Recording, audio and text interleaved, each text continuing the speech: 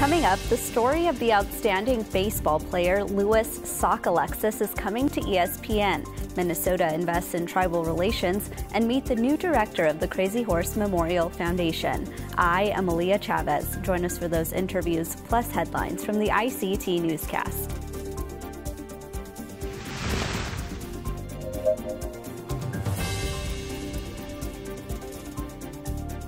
This program is made possible by the Corporation for Public Broadcasting, a private corporation funded by the American people.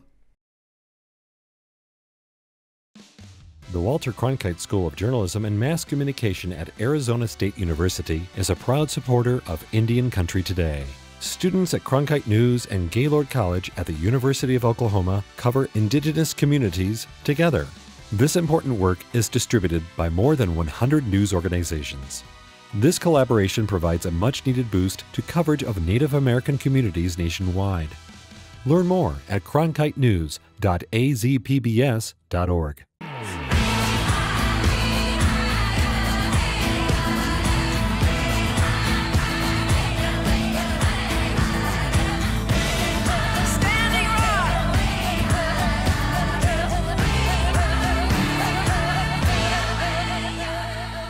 is the ICT Newscast with Aaliyah Chavez. Amarawa Hopa, thank you for joining us. We start in Alaska, where cleanup is underway after a powerful storm hit communities along the coast. Over the weekend, the remains of Typhoon Merbok caused rising sea levels, high winds, and widespread flooding. The storm knocked out power and sent residents searching for higher ground. On Friday, the National Weather Service took to social media to say the storm was so big that it would take three hours for the sun to set on it. Two villages, Hooper Bay and Golovin, were some of the hardest hit. The town of Nome was also front and center. Videos from the storm show a house floating down a river after it was moved off its foundation. Officials are saying no injuries or deaths were immediately reported. There's a new push to make four landscapes into the, in the United States into national monuments. Earlier this month, an article from the Pew Charitable Trust called on the Biden administration to make these changes. These locations are Castner Range in Texas, the Camp Hale Continental Divide in Colorado, Avi Kwa Ame in Nevada, and Molok Luyuk in California. Making these places national monuments would provide less would provide protections like less development, and this includes for oil and gas projects. Experts say all of these landscapes have a significant meaning to Indigenous people. They added that people of color have less access to nearby natural areas than white people, according to a recent study. Secretary of the Interior Deb Haaland visited Castner Range in, in March and advocated to, quote, do more in stopping the loss of nature and wildlife. Now to North Dakota, where citizens of the Mandan Hidatsa Arikara Nation are headed to the polls for the tribe's primary election. According to its website, the nation has nearly 17,000 enrolled citizens. However, less than 5,000 citizens live within MHA territory. Since 1986, the tribe has required non-resident voters to return to its tribal lands to vote. That makes voting a challenge for the 73% of the total population who live off the reservation. Absentee ballots do exist, but can only be used under certain situations and only by citizens who live in the nation's territory. At a virtual town hall, MHA citizen Joletta Birdbear said it is a right for all voters to participate in their government. According to ICT, the MHA nation does not currently have any ballot measures active that would target this issue. An indigenous stone fish trap first discovered in 2010 could be the oldest ever found. A team of scientists exploring the underwater region near southeast Alaska discovered it. They estimate it is at least 11,000 years old. The group worked in partnership with the Sealaska Heritage Institute and is using artificial intelligence to look for evidence of early human occupation.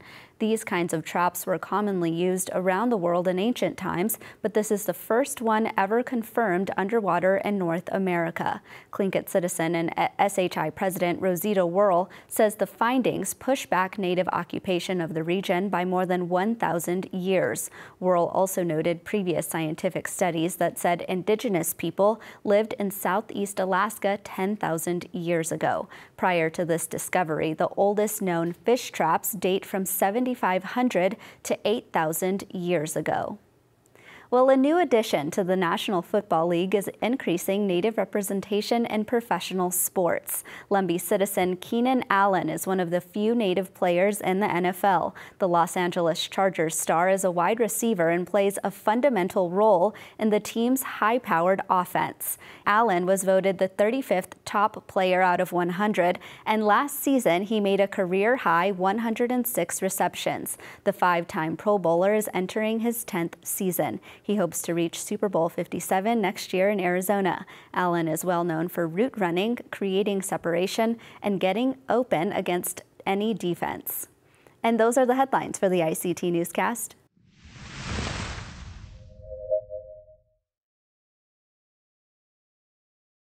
Tribal relations in Minnesota just got a boost from the state government. Governor Tim Walz and Lieutenant Governor Peggy Flanagan announced the promotion of Patina Park to Executive Director of Tribal State Relations. She will serve as a direct link between the governor's office and Minnesota's 11 tribal nations and communities. Welcome, Patina, and congratulations to you. Thank you so much. It's good to be here.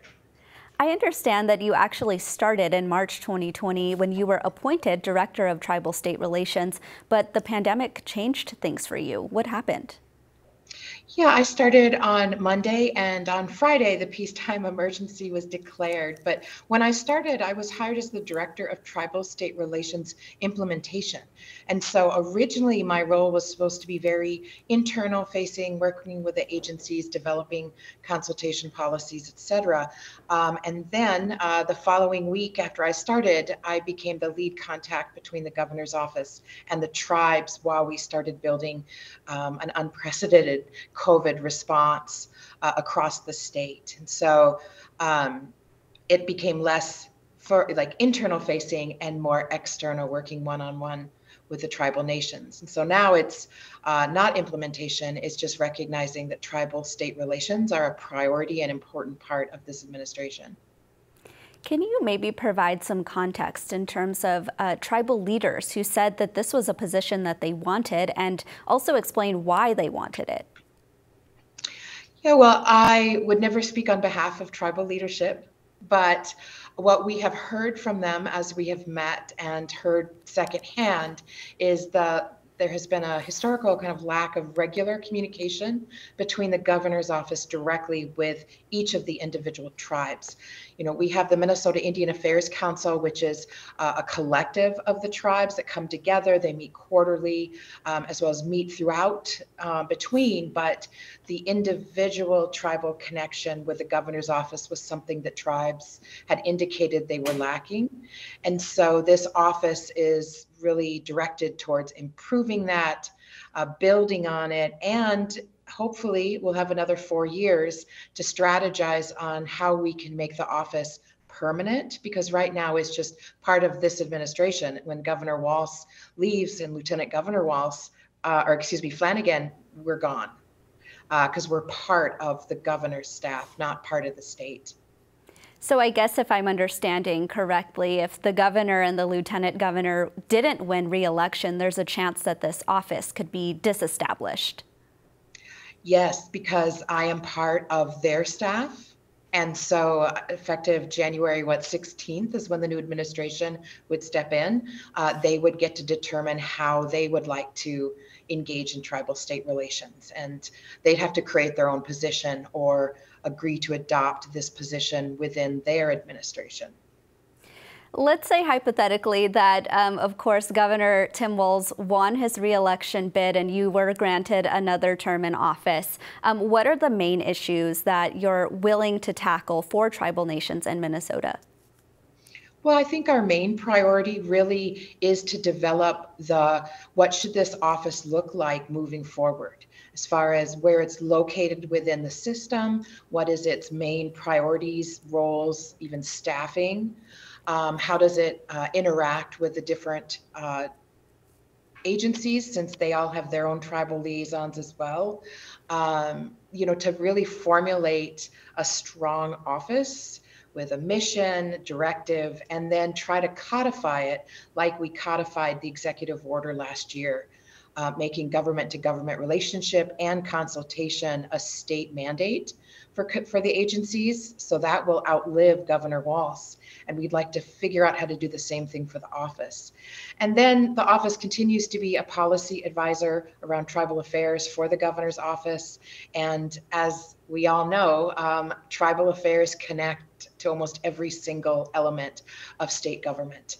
Uh, and so ongoing involvement with issues as they pop up to ensure that tribal nations are being considered, that the impact on the tribes is considered at the front end of any action, that when agencies send recommendations or requests to the governor's office, that we're following through to ensure that the tribes were engaged in a meaningful way and it wasn't just a checkbox of you know we called the tribes and that's it and then, you know, um, things come up. We are adding a staff uh, that starts this week. I'm very excited. And so uh, they'll serve as a Native American Affairs advisor and will further build like how, what role would they fill as far as policy, as well as working, you know, directly with the tribal government affairs. And it's a work in progress, but uh, it's exciting work.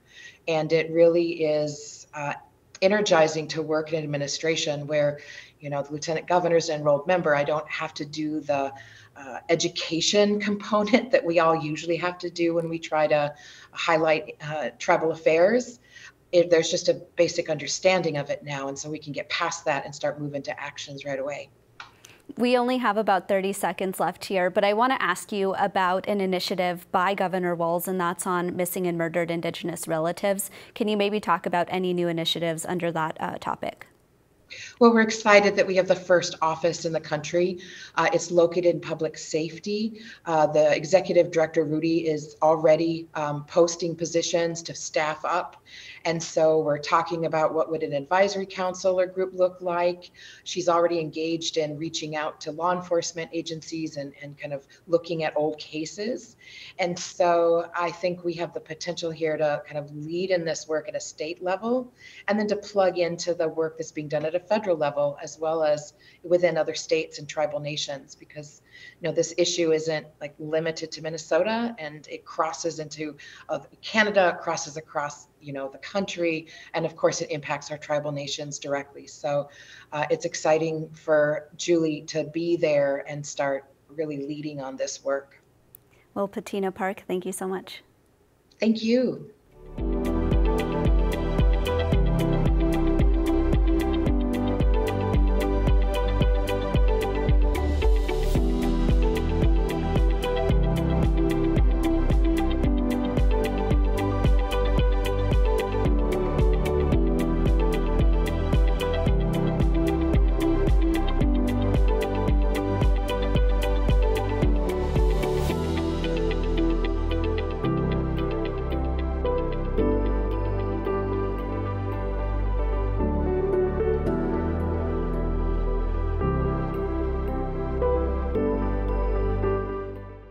Baseball fans might know the name Louis Sockalexis, but he remains largely unknown to most people. Sockalexis was an outstanding baseball player. He was from the Penobscot Indian Nation and was left-handed. In 1897, he joined the Cleveland team that was called the Spiders at the time. Years later, the team would change the name to the Indians to honor Sockalexis. Then, after more than 100 years, the name changed again. His story will be told on ESPN when it brought broadcasts Deerfoot of the Diamond on September 27th. Joining us to talk about this story is Lance Edmands. He's the writer and director of the documentary. Welcome, Lance. Thank you. It's great to be here. It's a long story, but tell us about the legacy of Louis Sockalexis. Yeah, he's um, an incredible baseball player. He played his rookie season in 1897, so way back a, a long time ago. He grew up in Old Town, Maine, on as you said, on the uh, Indian Island, which is the reservation for the Penobscot. And he was an incredible baseball player as a young man, and played at Holy Cross and he played at Notre Dame and he was a collegiate baseball star and he ended up getting drafted by the Cleveland team in 1897 and he had a fantastic few months as a as a rookie. Um, he had an incredible rise but he also had a really steep and precipitous fall after an injury and battle with alcoholism. His career was tragically cut short um, but it was sort of revived and remembered in the year of 1915 when the Cleveland team was looking to find a new name and during the time that Sockalexis played, um, they were known as the Indians. And so they sort of revived that name um, in 1915 and stuck with it for over 100 years. Um, the film tracks the story of, of Louis and his incredible career and skills as a baseball player, but it also gets into issues surrounding um, using Native American mascots, the Chief Wahoo logo, and other um, issues surrounding the, the team name of Indians, which was initially uh, uh, which was gone on to change in 2021 to the Guardians um, uh, after many sort of years of, of discussion and protest. And so the film kind of tracks not only his story but the story of the name and um, sort of honor and tradition and legacy in professional sports. Based off of your research, how did Louis Sockalexis feel about the team being called the Indians? Well, when they renamed the team in 1915, um, part of the reason that they had called it that was that he had actually passed away the year before. So he was kind of um, revived in the newspapers and remembered at the time. Um, so he wasn't alive to see the team receive that official designation. Um, but certainly when he played, they were referred to as, as the Indians as a nickname in the newspapers. Um, we can never really know what was going through his mind because he wasn't interviewed much. And, and one of the sort of tragic things about his story is that you know his story was kind of told for him by the by the newspaper writers at the time and a lot of it was very stereotypical um, very problematic and he wasn't really necessarily represented in the best of ways um, when he played he was a consummate athlete a professional um, was very much um, excited, enthusiastic to be to be playing and, and to be celebrated. But I think looking back, some of the depictions of him uh, weren't necessarily, um, you know, the nicest, and he wasn't treated necessarily the same way that the white players were at the time, being the first not only the first um, Native American to play baseball, but the first minority at all um, to play in the sport. So he had to contend with a lot of the same stuff that someone like Jackie Robinson did, but that wouldn't be for another 50 years. I want to talk about your documentary, of course, um, being broadcast on ESPN. Can you maybe talk about why it was important um, for non Native people to learn about this story, in, in your opinion? Yeah, because not only was he a groundbreaker in in in a way, and and the first, um, you know, and that alone is important for sports history, um, but I think that also a lot of the discussion around the team name change from the Indians to the Guardians, there was a lot of kind of um, not necessarily misinformation, but I think a lot of people didn't really know the whole story. Um, and his name was brought up a lot to say that the team name was in honor of him. And I think that the name would be invoked, but not necessarily everyone didn't necessarily know the his whole story, uh, all the details, what a great player he was, um, the troubles he went through, but also the highlights. And so I thought that you know since his name was coming up so much in the news and people were discussing Sock so much, that it would be great to really kind of revive his story and to tell it again and maybe tell it from a new perspective with a little bit of the benefit of hindsight and to kind of bring his historical moment back into present day and kind of inform everyone you know this what the what the true story really was and um, you know allow people to really understand you know what his place in history uh, was and again, this documentary, Deerfoot on the Diamond, airs on September 27th on ESPN. Lance, thank you so much. Thank you. Appreciate it.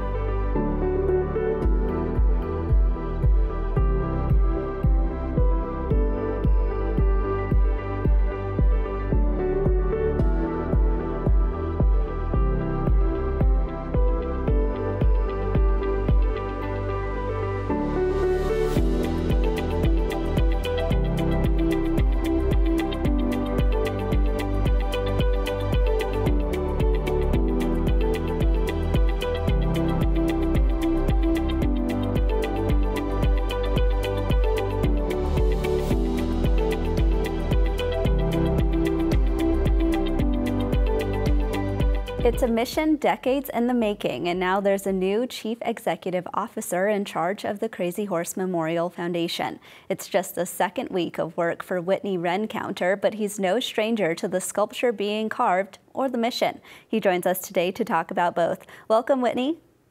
Hello, good day. How are you doing? Thanks for having me on today. So let's just jump right in here. Tell us about your past involvement with the Crazy Horse sculpture. Yeah, so the uh, Crazy Horse Memorial Foundation uh, really has the, the mission to uh, move forward and honor the North American tribes and the heritage and preserve and protect, you know. And uh, so I've been involved as a consultant, as my family and I would come out here and educate the visitors that come from all over the world and to share the history of our people and to uh, really share the, the beauty of our culture and so I've been involved uh, for many for several years uh, in that aspect, and then uh, change of role uh, to be more in leadership now. So uh, I've been involved, you know, um, in different portions. I actually, when I was in college many years ago, I received the Crazy Horse Memorial Foundation scholarship, and so that's kind of how things started to connect for me. Uh, but I'm really happy to be able to be here to help lead and push forward the mission of the Crazy Horse Memorial Foundation. Give us some perspective on the carving of the Crazy Horse sculpture. When did it start and when do you expect it to be completed? Well, June 3rd, uh, 2023 would be 75 years anniversary of the, the carving and, and such. Um, but as far as the memorial, as far as the mountain carving itself, uh, because Korczak Ziolkowski, who, who started the carving, you know, almost 75 years ago, at the request of uh, Chief Henry Standing Bear and some elders in our area, um, you know, they, they never received any or, or accepted any government or state funds. So everything comes from private private donations uh, from donors and, and support of the admissions and so on and so forth. So because of that, uh, you're relying upon uh, private donations to be able to move forward. So when you want to increase your staff and increase productivity, not just at the, the mountain, but also moving forward with the museum and the, and the uh, university and the other causes that we support, uh, that's relying on these donors and, and so on and so forth. So the more donations we get, the more we can expedite and uh, increase our efforts.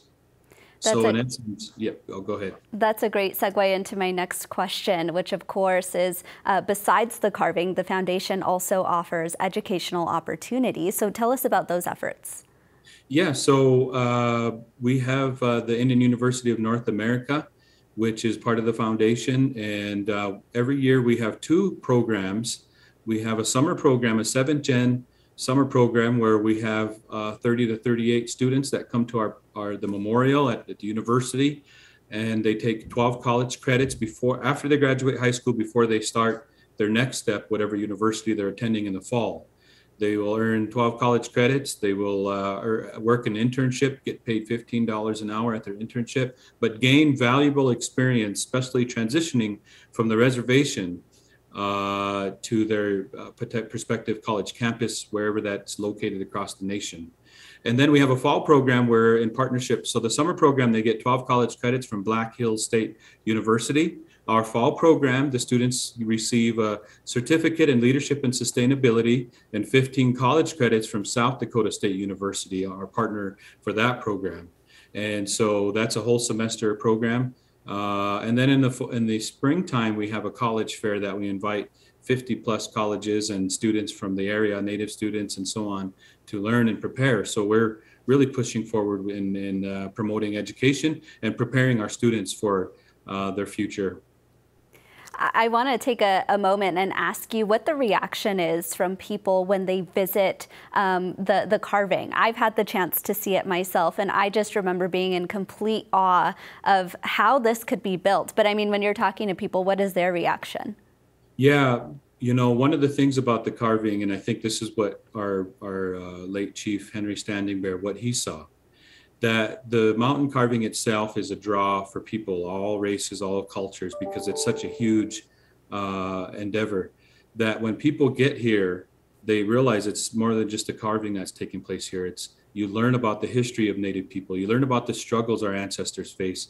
But then when you see the carving and you see the beautiful nature on the Black Hills of what the, which is the birthplace of our ancestors, the Oceti, Sakowin, the Lakota, Dakota, Nakota people. People are blown away. Not only the view of the mountain and, and the backdrop of the Black Hills, but I think in also learning about the beautiful culture of Native peoples, not only the struggles, but the beauty, the things they never receive in a, in a classroom. And I think that's what we're really excited about that people get to get an education they will receive nowhere else or very few places unless they study on their own. Uh, and so I think people are really uh, emotional. Uh, very, they become very passionate towards Native causes and under, have a better understanding. So it's an area of emotions, but but for the most part, uh, we're really excited and happy that we can open that door for them to want to learn more about our ancestors and maybe support our causes as well. Absolutely. Well, Whitney Rencountre, thank you so much. Thank you. And that's a slice of our Indigenous world. For all the latest, visit ictnews.org. From all of us in the newsroom, stay safe, my relatives. Sometimes you got to take a stand just because you know you can. Oh, you got to run, you got to run.